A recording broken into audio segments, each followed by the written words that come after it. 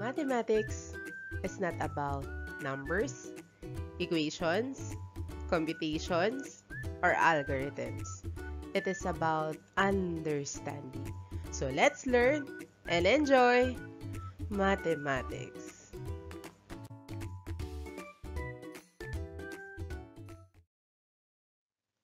Our lesson is about central angles and arcs theorem.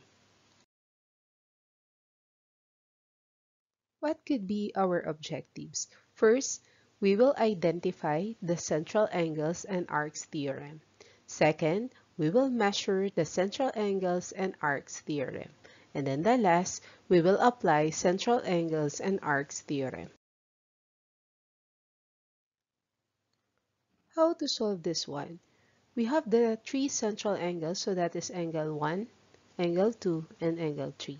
So the solution, the sum of the measure of the central angle. So it means the sum of the measure of the central angles of a circle with no common interior points is equal to 360 degrees. So it means the measure of the angle 1 plus the measure of the angle 2 plus the measure of the angle 3 that is equal to 360 degrees. We all know that the circle, the total is equal to 360 degrees. Example, in the given figure, let us find the value of the measure of the angle ADC. So let us see where is measure of the angle ADC. So ADC. So let us see what could be the measure of the angle ADC.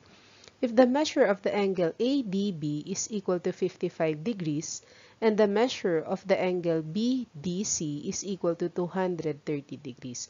So what could be the solution? So the solution we need to add the measure of angle ADB plus the measure of BDC plus the measure of ADC. So the total is equal to 360 degree. So because that is a circle.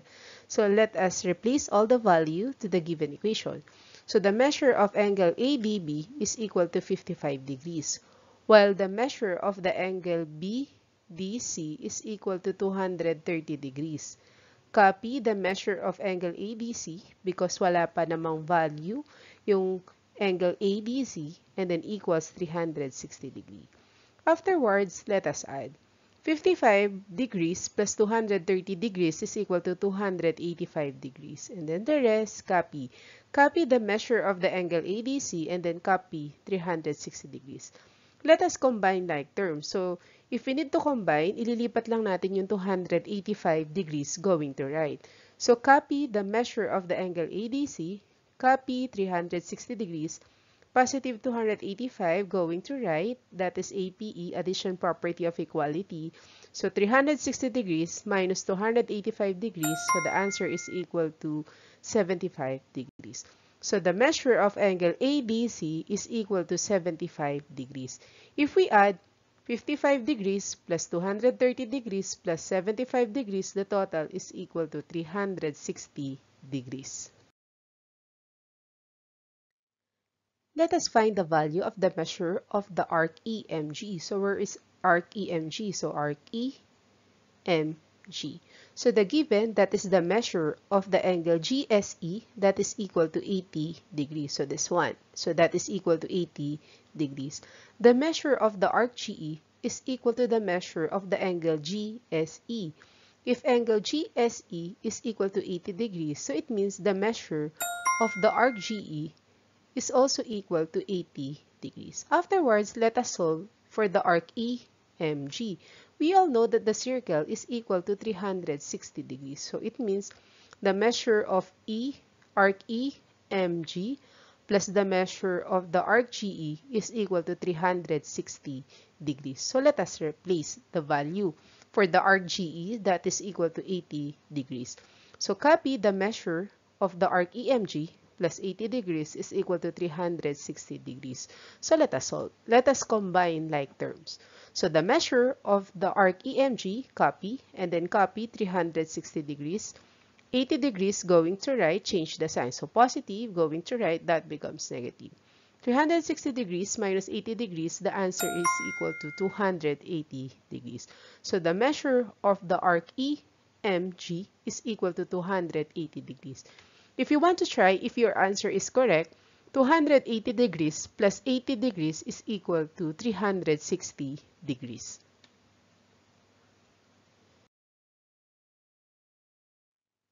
As you can see, we have two circles, and that circle is congruent circles.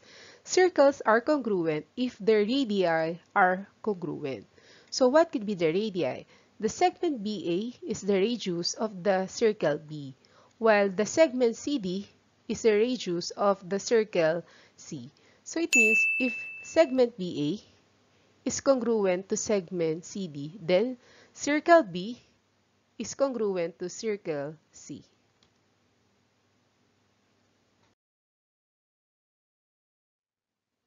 Example, let us find the value of x.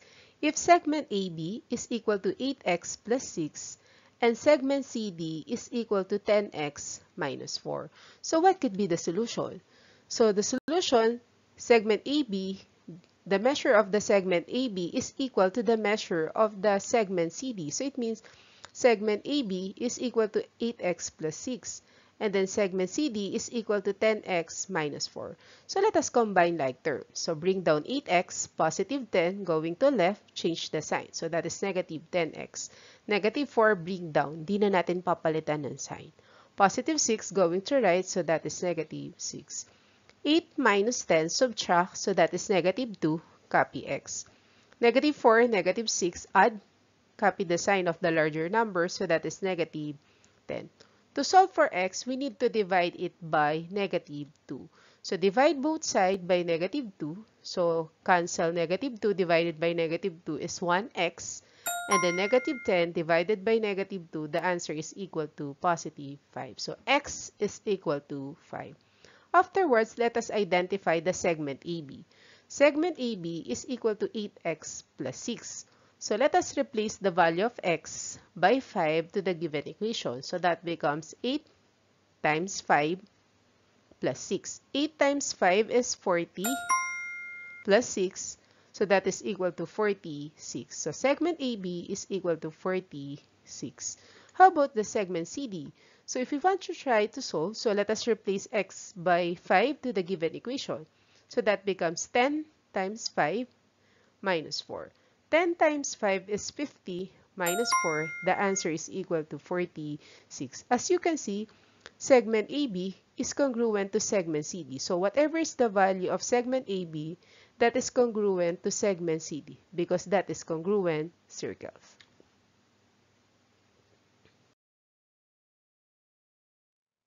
How about this one? If we have congruent arcs. So what is congruent arcs? In a circle, or congruent circles, congruent arcs have congruent measure. So it means angle 1 is congruent to angle 2. Then, arc EM is congruent to arc MS.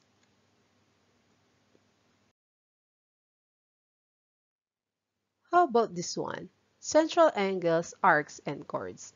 In a circle or in congruent circles, two minor arcs are congruent. So we have two minor arcs that is congruent if and only if their corresponding central angles are congruent. So if circle R, so this is circle R, is congruent to circle E, then angle GRE is congruent to angle MRS and also congruent to angle TER.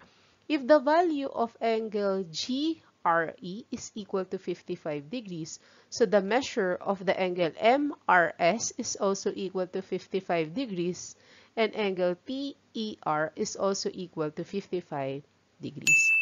Arc GE, so this is arc GE, is congruent to arc MS, and it also congruent to arc TR. So if the measure of the arc G is equal to 55 degrees, how to get 55 degrees? The central angle is equal to the intercepted arc. So it means arc GE is equal to 55 degrees. So if arc G is equal to 55 degrees, also arc MS is also equal to 55 degrees and arc TR is also equal to 55 degrees. Let us find the value of the measure of the RTS. So this is RTL. If the given angle ERM is equal to 30 degrees and angle MRS is equal to 30 degrees. So the solution, the circle R is congruent to circle B. Then RTL is congruent to arc MS. So it means if angle NRS is equal to 30 degree, the arc MS is also equal to 30 degrees because that is central angle. So MS, arc MS is equal to 30 degrees. How about the measure of the RTL? Also, the measure of the RTL is equal to 30 degrees because circle R is congruent to circle B. Let us practice what you have learned about the central angles and arcs theorem. Instruction, given the circles, let us identify the value of x, chords, and arcs. Provide your answers in the comment section.